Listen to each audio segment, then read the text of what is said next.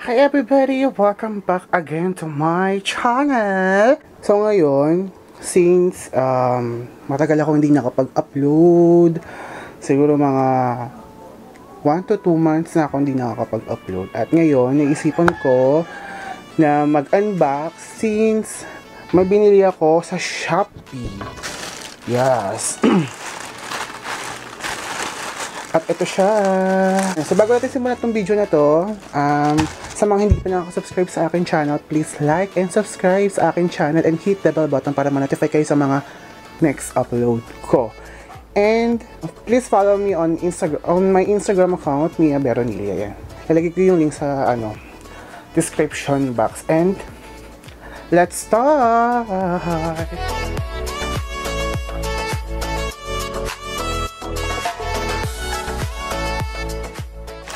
Ito siya.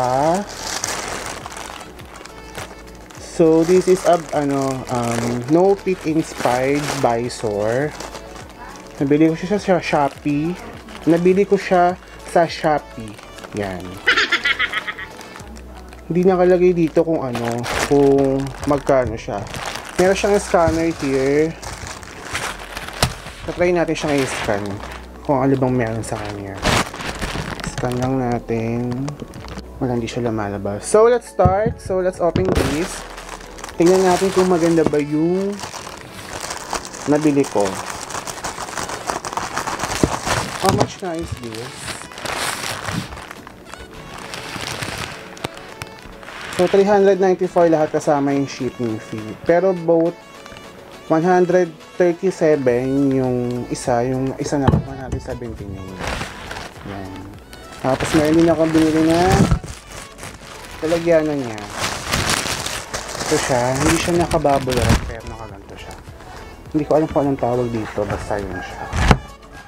Yan. Actually, mabilis ang video na to. Bahala na si Batman. Unahin ko muna itong isa. Ito siya. Oh, init. Grabe. Talagang hindi nakapag-vlog. Oh, oops. Ayan. Yung plastic niya. Ito na siya. Ang Bice, ano, No Pit Inspired Visor. Wow. Para para may onting gasgas siya. Let's try.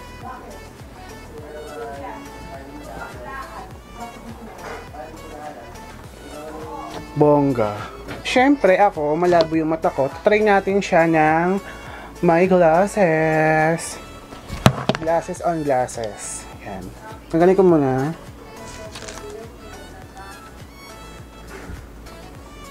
Yan, since malabo yung mata ko, tatry natin siya.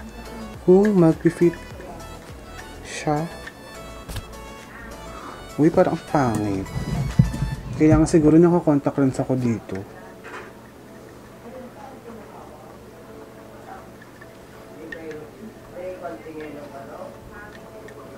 Hindi siya pwede.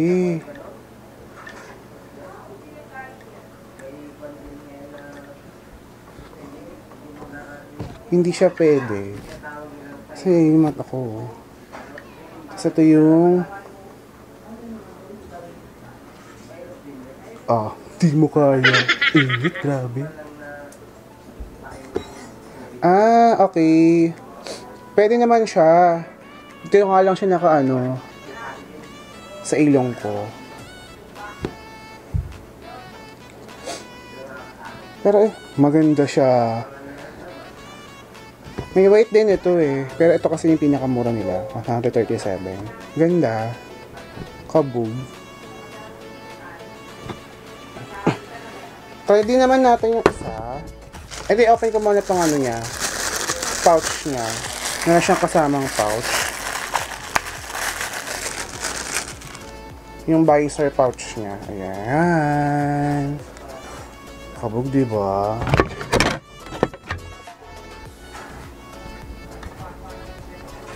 May unti lang siyang gasgas pero lava na yarn.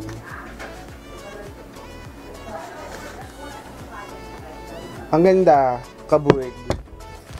Ito naman yung next. Next na natin to.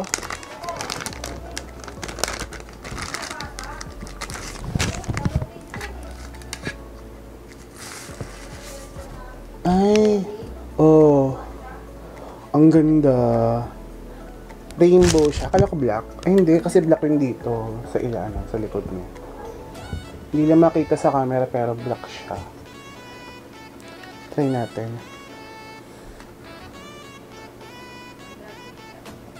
Ganda. Oo. Ganda niya. Sakay dito, hindi makita, oh. Hindi ka hindi kita yung ano mo. Paningin mo. Covered niya yung buong half ng face mo. Ganda. Kasi hindi ko ito pwedeng gamitin sa trabaho. Pang labas-labas lang. Yung, yung ano lang yung pwede ko gamitin. Yung transparent. Maganda. Nasa nakapatong siya sa ilong ko. Ganda. Pwede pang araw-araw. Charot lang. Yan. Ito siya. Sa design niya, kahawig mo talaga sinukit. Ayan.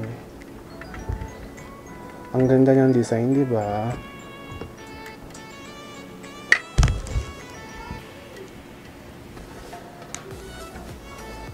Kabog. Mm. So, ito na nga. so, since dalawa lang yung binili ko, at yung delivery niya, siguro mabot ata ng mga ilang days, mga 5 days. Pwede na yun sa akin dahil hindi naman ako nagmamadali. Ito ang maganda oh. Diba kabog? Feature na ako. Yan. So, ito lang po ang mapablog ko ngayon. At pasensya na po dahil saglit lang tayo. Ni-review ko lang siya or tinignan ko lang or in-unbox ko lang kung ano itsura yung magagamit ko. Magagamit ko ba siya pang araw-araw sa trabaho at yun. Ito pwede to. Maganda to. Di ba? Ang lakas maka ano maka Lady Gaga. So, yun na nga. So, dito na nagtatapos ang aking vlog. Sa mga hindi pa nakasubscribe sa aking channel, please like and subscribe. And please follow me on my Instagram account, Nia Beronilia. Okay? So, bye everybody and see you on my next vlog. Bye!